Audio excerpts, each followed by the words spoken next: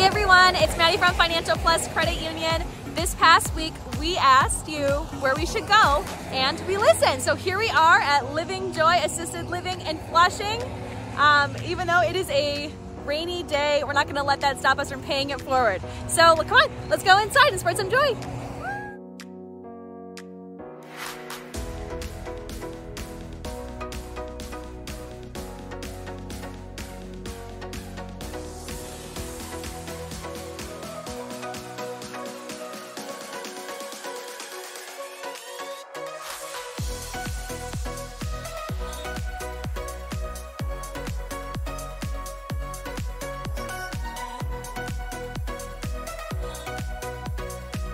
Yeah. Thank you very